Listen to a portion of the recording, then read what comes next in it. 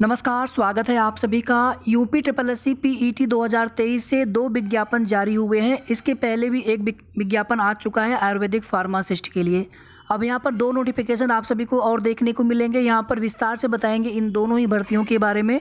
और इसके आगे भी कुछ भर्तियों के विज्ञापन आप सभी को देखने को मिल सकते हैं। लोकसभा इलेक्शन की आचार संहिता लगने से पहले पहले आने वाले भर्तियों के विज्ञापन में जेई है ए जी टी ए का है, एएसओ का है व अन्य विज्ञापन देखने को मिलेंगे। सबसे पहले यहाँ पर देखेंगे, सहायक लेखाकार व लेखा परीक्षक। 1828 पदों पर यह नोटिफिकेशन आया है। 20 फरवरी से ऑनलाइन आवेदन स्टार्ट होंगे 11 मार्च लास्ट डेट होगी और 18 मार्च शुल्क समायोजन और संशोधन की लास्ट डेट होगी। पीईटी 2023 के आधार पर आप आवेदन कर पाएँगे। कुछ चीज़ें देखिए, यहाँ पर दोनों ही नोटिफिकेशन में कॉमन होंगे, जैसे आरक्षण संबंधी प्रावधान एज लिमिट दोनों में ही आपको सेम देखने को मिलेगा। सहायक लेखा व लेखाकार वाले में पहले वाले नोटिफिकेशन में अगर आप देखेंगे, जिस तरह से सारी चीज़ें आपको देखने को मिली है तो उसी तरह से इस विज्ञापन में भी रहने वाला है। दिक्कत केवल उन विज्ञापनों में होगी, जहाँ पर जो विज्ञापन पहली बार आया होगा पीईटी से। आरक्षित वर्ग के अभ्यर्थियों को नियमानुसार आयु सीमा में छूट मिलेगी। ई डब्ल्यू एस एक अप्रैल 2023 के बाद का बना होना चाहिए और 11 मार्च 2024 के पहले का होना चाहिए। विज्ञापित पद के लिए केवल एक आवेदन करना है। आवेदन संबंधी आवेदन कैसे करना है उसको लेकर के यहाँ पर इंस्ट्रक्शन दिए गए हैं। पच्चीस रुपये फ़ीस सभी के लिए रहेगा और पीईटी 2023 के आधार पर शॉर्ट लिस्टिंग होगी। मुख्य परीक्षा के लिए अभ्यर्थी शॉर्ट लिस्ट होंगे। पंद्रह गुना का नियम है कैटेगरी वाइज अभ्यर्थी पंद्रह गुना से ज़्यादा ही शॉर्ट लिस्ट होते हैं, लेकिन पंद्रह गुना का नियम है। संशोधन में क्या क्या कर पाएँगे, उसको लेकर के यहाँ पर दिया गया है पदों का विवरण। सबसे पहले यहाँ पर छः वर्टिकल ऊर्ध्वाधर में देख लीजिए टोटल यहाँ पर पद है अट्ठारह सहायक लेखाकार सामान्य चयन में आप यहाँ पर देख सकते हैं पदों की संख्या कैटेगरी वाइज इसी तरह से ग्रेड पे अगर आप देखेंगे लेवल फाइव लेवल फाइव में है, यानी न्यूनतम उनतीस हज़ार दो सौ से लेकर के बानवे हज़ार तिरानवे तक बेसिक पे। बानवे हज़ार तीन सौ तक। इसी तरह से लेखा परीक्षा के लिए भी सेम ग्रेड पे है और पदों का देख लीजिए विवरण आप कैटेगरी वाइज अनारक्षित S C S T O B C E W S तो ये तो हो गया आपका आंतरिक लेखा एवं लेखा परीक्षा निदेशालय की तरफ़ से। इसी तरह से विधिक सेवा प्राधिकरण में सहायक लेखाकार और सहायक लेखाकार विशेष चयन, आंतरिक लेखा एवं लेखा परीक्षा निदेशालय में। तो इनके लिए यहाँ पर पदों का विवरण है कैटेगरी वाइज सहायक लेखाकार विधिक सेवा वाले में केवल एक पद है। और अगर आप सहायक लेखाकार विशेष चयन में अगर आप देखेंगे तो यहाँ पर अनारक्षित की एक भी सीट नहीं है। एस के लिए तीन सौ निन्यानवे सीट है। एस के लिए अड़तीस ओ के लिए पाँच सौ तेरह और ईडब्ल्यूएस के लिए कोई सीट नहीं है।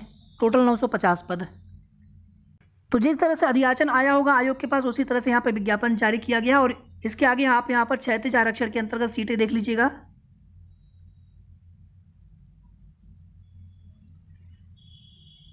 स्वतंत्रता संग्राम सेनानी, दृष्टिहीनता एवं कम दृष्टिहीनता में भी सीटें हैं। बधिर और श्रवण शक्ति में हरास। इसमें कोई सीट नहीं है। इसी तरह से भूतपूर्व सैनिक में सीट है। महिलाओं के लिए भी सीटें हैं। क्षैतिज आरक्षण के अंतर्गत। आरक्षण संबंधी प्रावधान केवल उत्तर प्रदेश के मूल निवासियों को ही आरक्षण का लाभ मिलता है। कोई भी भर्ती होगी एक बार आप सभी नोटिफिकेशन विस्तार से ज़रूर देख लीजिएगा, आवेदन करने से पहले। और महिला अभ्यर्थी जो विवाहित होंगी तो आपके लिए जाति प्रमाण पत्र पिता पक्ष से ही मान्य होगा। ईडब्ल्यूएस में कोई दिक्कत नहीं होती है। अगर अर्हता देखेंगे तो कॉमर्स में स्नातक की उपाधि होना चाहिए या फिर किसी मान्यता प्राप्त विश्वविद्यालय तो संस्थान से अकाउंटेंसी में स्नातकोत्तर डिप्लोमा होना चाहिए और साथ में ओ लेवल डिप्लोमा भी चाहिए। अधिमानी में अगर है तो ठीक है, नहीं तो कोई बात नहीं, होने पर प्रेफरेंस मिलता है। चयन का आधार अगर आप देखेंगे तो लिखित परीक्षा होगी। लिखित परीक्षा योजना और पाठ्यक्रम, ये बाद में इसके लिए नोटिस आएगी, सूचना आएगी। आगे शार्ट लिस्टिंग को लेकर के वह अदर चीज़ें यहाँ पर दी गई हैं। अर्हता को लेकर के या फिर आपके जो डॉक्यूमेंट्स हैं, और कोई भी ऐसा अभ्यर्थी नहीं होने चाहिए जिनके एक से अधिक, अगर पुरुष अभ्यर्थी तो एक से अधिक जीवित पत्नी या फिर महिला अभ्यर्थी विवाहित तो एक से अधिक जीवित पति नहीं होना चाहिए।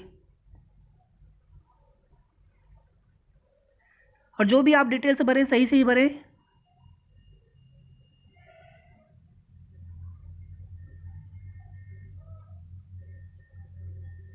अच्छा यहाँ पर माफ़ी चाहेंगे आप सभी से। लिखित परीक्षा की परीक्षा योजना और पाठ्यक्रम दिया गया है। लिखित परीक्षा की तिथि जो है, ये अलग से बताया जाएगा बाद में नोटिस के माध्यम से। तो यहाँ पर आप सभी देख सकते हैं परीक्षा परीक्षा योजना। सौ क्वेश्चन सौ नंबर का, दो घंटे का पेपर होगा वन फोर्थ की नेगेटिव मार्किंग रहेगी। और किस प्रकार से ये प्रश्नों का डिवाइडेशन किया गया, आप इसको देख लीजिएगा। किस सेक्शन में कितने प्रश्न पूछे जाएँगे? कंप्यूटर से भी प्रश्न रहेंगे पंद्रह। और यूपी स्पेशल से भी बीस प्रश्न रहेंगे।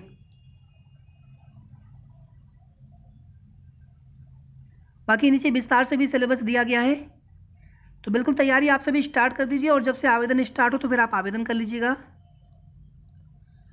अब अगर आपके मन में कोई भी डाउट हो तो आप कमेंट करके पूछ सकते हैं। ये प्रमाण पत्र का प्रारूप है, किस प्रारूप प्रमाण पत्र आपका रहना चाहिए?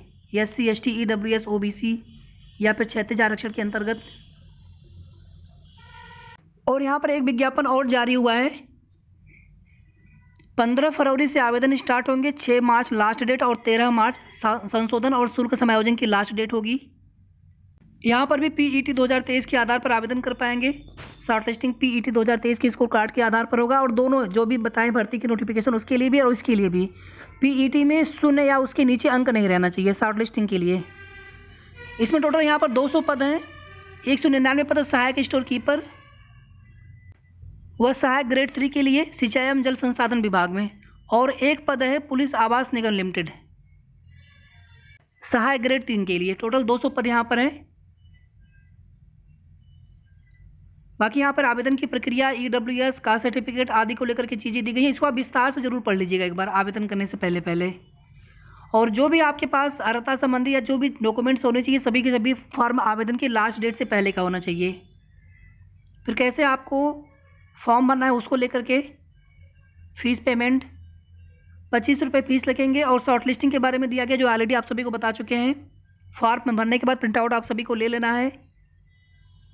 संशोधन में क्या क्या संशोधन आप सभी कर सकते हो? तो यहाँ पर कोशिश ये करना है कि कोई भी गलती ना हो। क्षैतिज आरक्षण के अंतर्गत क्या प्रावधान है? पदों का विवरण यहाँ पर देख लेते हैं। ऊर्ध्वाधर और क्षैतिज में। अगर आप देखेंगे तो सिंचाई एवं जल संसाधन विभाग में सहायक स्टोर कीपर के लिए टोटल एक सौ निन्यानवे पद है। कैटेगरी वाइज पद यहाँ पर देख लीजिएगा, तिरासी, अनारक्षित, इकतालीस एस सी तीन एस टी तिरपन ओ बी सी उन्नीस ई डब्ल्यू एस में। और पुलिस आवास निगम लिमिटेड में सहायक ग्रेड तीन के लिए केवल एक पोस्ट है और ये पोस्ट अनारक्षित की है। इसी तरह से क्षेत्रीय आरक्षण में सीटों का यहाँ पर बंटवारा देख लीजिएगा आप सभी। आरक्षण संबंधी प्रावधान केवल उत्तर प्रदेश के मूल निवासियों को ही आरक्षण का लाभ मिलेगा। ई डब्ल्यू एस एक अप्रैल 2023 की बात का होना चाहिए और फार्म आवेदन की लास्ट डेट से पहले का होना चाहिए। आठ लाख से ज़्यादा आय ना हो। इसी तरह से क्षैतिज आरक्षण में विवाहित महिलाओं के लिए जाति प्रमाण पत्र पिता पक्ष से ही निर्गत मान्य किया जाएगा। अगर यहाँ पर एलिजिबिलिटी आप देखेंगे तो इंटरमीडिएट या कोई समकक्ष उसके। और साथ में हिंदी और इंग्लिश में टाइपिंग हिंदी में पच्चीस शब्द प्रति मिनट और अंग्रेज़ी में तीस शब्द प्रति मिनट। न्यूनतम गति। सहायक स्टोर कीपर के लिए। और सहायक ग्रेड लिए जहाँ पर केवल एक पद है तो यहाँ पर भी इंटरमीडिएट या फिर उसके समकक्ष और साथ में हिंदी और अंग्रेज़ी में टाइपिंग पच्चीस और तीस। आयु सीमा देखिए दोनों में ही अट्ठारह से चालीस है। मिनिमम अट्ठारह और अधिकतम चालीस। इससे अधिक नहीं होना चाहिए। दोनों ही भर्तियों में यहाँ पर भी और वहाँ पर भी। चयन का आधार यहाँ पर भी वही है कि पीईटी 2023 के स्कोर कार्ड के आधार पर मुख्य परीक्षा के लिए अभ्यर्थी शार्ट लिस्ट होंगे। पंद्रह गुना वाला नियम है। आगे लिखित परीक्षा होगी। और यहाँ पर अगर आप देखेंगे तो लिखित परीक्षा की परीक्षा योजना में पाठ्यक्रम तथा परीक्षा तिथि के संबंध में यथासमय पृथक से सूचित किया जाएगा। तो यहाँ पर नहीं है फ़िलहाल में सिलेबस और परीक्षा का पैटर्न।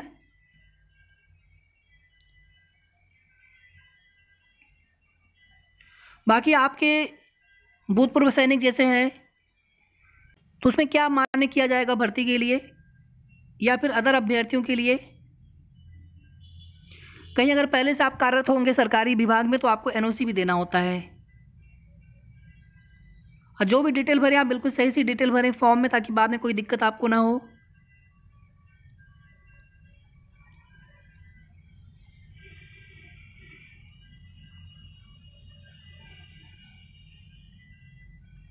नीचे यहाँ पे प्रारूप भी दिया गया है, जो डॉक्यूमेंट्स आपसे मांगे जाएँगे कास्ट संबंधी यानी आरक्षण के लिए, या फिर ईडब्ल्यूएस के लिए, या डोमिसाइल के लिए।